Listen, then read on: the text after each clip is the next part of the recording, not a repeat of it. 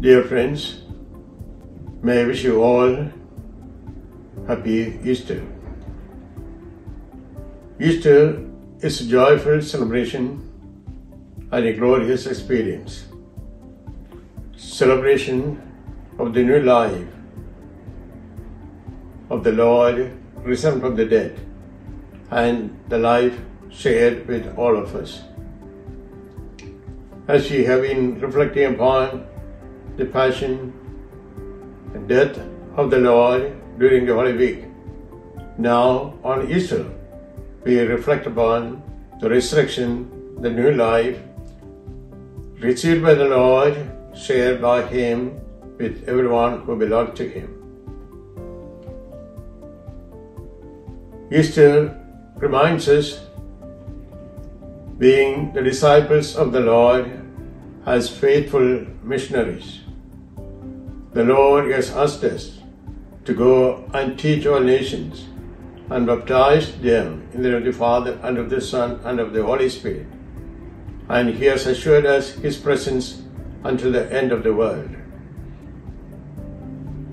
The risen Lord, as He is being glorified and seated at the right hand of God the Father, has promised that He will be coming back to take us home with Him as we are waiting for His second coming.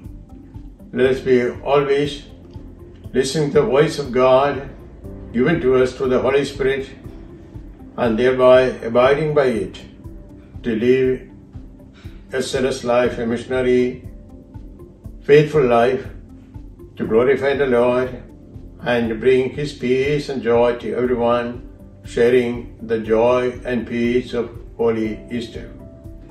The DYA, the Ryerson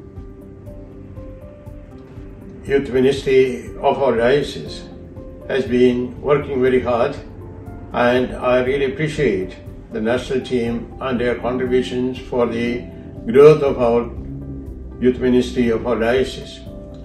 And the leaders, of course, they are doing their level best to set a good example to our young people and little children so that all of us may grow in the grace of the Lord and love of the church. Once again, may I wish you all happy Easter of 2022. Bishop Jacob Angadiath, St. Thomas, Syro Catholic Diocese of Chicago.